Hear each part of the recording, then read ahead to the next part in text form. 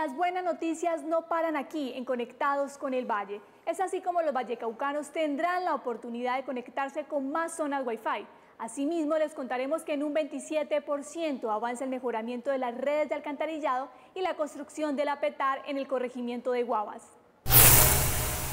A través del gerente de Infivalle y su presidente Giovanni Ramírez, los institutos financieros del país asociados en ASOINFIS hicieron un llamado al Ministerio de Hacienda para que se abra la posibilidad de manejar parte de los recursos del subsidio de ingreso solidario en esta última etapa. Hacemos un llamado al ministro de Hacienda diciéndole que seguimos creyendo en su palabra de poder tener en cuenta a todos los institutos financieros del país para esta reactivación económica, que tenga en cuenta las propuestas que le pasó nuestra asociación y también que tenga en cuenta que dentro de esas propuestas iba una que el mismo ministro hizo de que pudiéramos manejar el ingreso solidario y muchas otras actividades económicas que podemos manejar los INFIS que en la banca privada tradicional no se han podido manejar porque hay mucha gente que no está bancarizada. Infivalle, en el caso del Valle, está preparado para servir de intermediario financiero como otros institutos. Tenemos la infraestructura igual en su gran mayoría que los bancos para llegar a todas las personas para la reactivación económica y lograr hacer créditos a las pymes y MIPYMES que podamos contribuir a esa reactivación. Los INFIS solicitaron la intervención del alto gobierno para servir de intermediarios financieros y apoyar la reactivación económica del Valle del Cauca y los demás departamentos. Una asociación de mujeres víctimas del conflicto armado de la vereda El Arenillo en Pradera Valle es la primera en recibir la visita del gobierno departamental como ganadora de la convocatoria de emprendimiento rural y seguridad alimentaria que realizó la Secretaría de Agricultura. Se apoyará con capital semilla y 15 mil alevinos para la producción de trucha arcoíris para beneficio de las mujeres y sus familias. Me parece muy bueno que no nos tienen olvidados, que, debido a, a esta pandemia pues, pues nos están apoyando de allí dependemos 22 familias para este proyecto con cinco unidades productivas, digamos, están en cada finca. La comunidad inició las concertaciones con la Secretaría de Agricultura y el operador del proyecto para comenzar a recibir el acompañamiento técnico. Se busca generar recursos y soberanía alimentaria en esta comunidad. Este proyecto va a ser eh, sostenible en el tiempo, que va a generar eh, autoabastecimiento y va a generar ingresos económicos para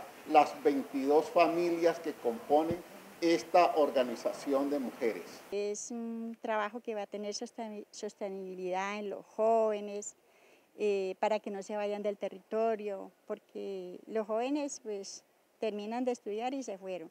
Y habiendo algo que hacer acá de trabajo, pues los jóvenes no se van a ir, se quedan acá. El de esta asociación hace parte de los 118 proyectos productivos y emprendimientos rurales elegidos por el gobierno de Clara Luz Roldán para apoyarlos en su ejecución y reactivar la economía del campo vallecaucano en tiempos de pandemia. El Valle del Cauca tendrá más municipios conectados para contribuir al cierre de brechas. La empresa de recursos tecnológicos ERT trabaja para conectar servicios de Internet gratuitos a la comunidad en zonas cercanas escolares. Hoy en el Valle del Cauca no solamente entonces estamos dando más del 50% de las sedes educativas de la conectividad, sino que también con un esfuerzo de la doctora Clara Luz se están dando los recursos para habilitar muchas más zonas de Wi-Fi en, el en los municipios. En una decisión de la gobernadora Clara Luz Roldán se destinaron las correspondientes inversiones. De tal forma que hoy las 150 zonas van a tener servicio de Internet, permitiendo a la comunidad tener servicios que son patrocinados ¿sí? con recursos del, del departamento. La ERT ha conectado alrededor de 2.770 instituciones educativas en municipios como Cartago, Buenaventura, Tuluá y Palmira.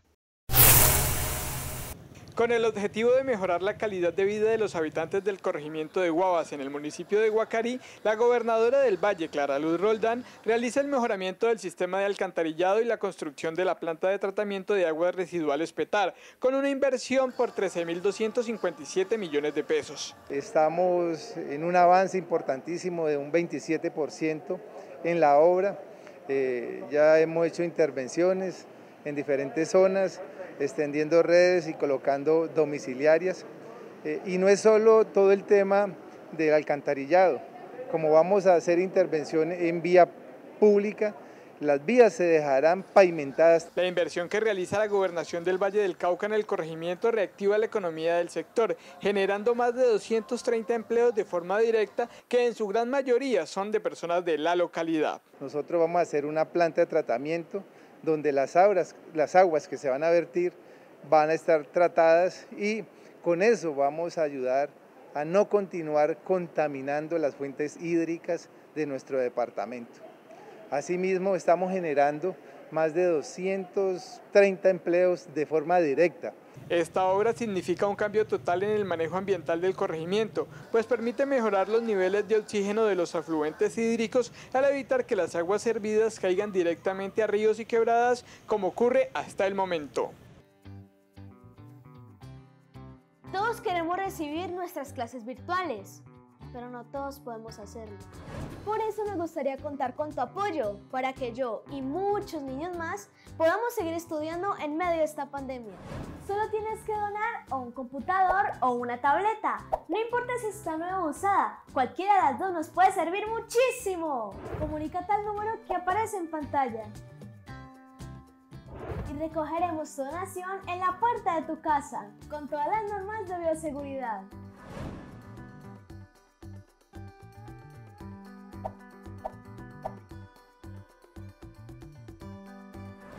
Apóyame para que mi sueño no se detenga.